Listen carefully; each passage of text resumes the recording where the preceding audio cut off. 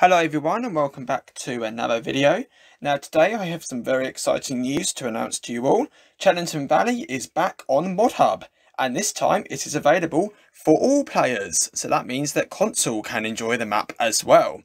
Now I was actually really shocked um, this morning um, when I heard that it had come back on the ModHub. I thought no way it's not on the ModHub and I looked and it's on there um, for everybody. So yes, that's really good news.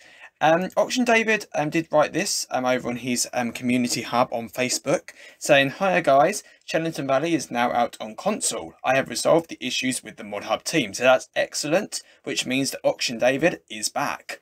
I feel it wasn't fair that the console community had to miss out on this map after me and the test team put so much effort into it and now you can enjoy it with the new fruit linseed. So for all you console players out there you will have a new crop type called linseed so that'd be really good. Um, as PC do have um, the Maize Plus edition um, of Chellington Valley so they have all different crop types. I think it's really nice that console is also getting a new crop type as well. Just want to say a massive thank you to the test team again for helping out further and making sure licensed brands were removed. Thank you to ModHub guys for making it possible to resolve the matters and a big thank you to the community for all your support. Hope you enjoy the map. I definitely will 100% um, enjoy Chellington and you guys will as well. Chellington is one of the best maps um, available um, period on ModHub in my opinion.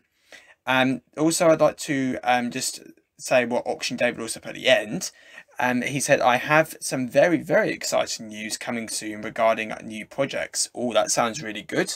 So that sounds like the Auction David is working on future projects as well. Um, I do know that over on his YouTube channel, if you haven't um, seen it um, already, he posted a teaser trailer for Calmsden Farm, which is actually a work in progress map that he's doing at the moment. Um, so hopefully we'll have more news and update um, about that map. And when we do, I will let you guys know. So that's going to be um, it for today's video. Um, hopefully you guys enjoyed. If you did, please feel free to like the video. Please feel free to subscribe to my channel as I will much appreciate that. And please feel free to leave any um, comments of any future videos you'd like to see on the channel and I'd like to hear your opinions about what you think about Chellington.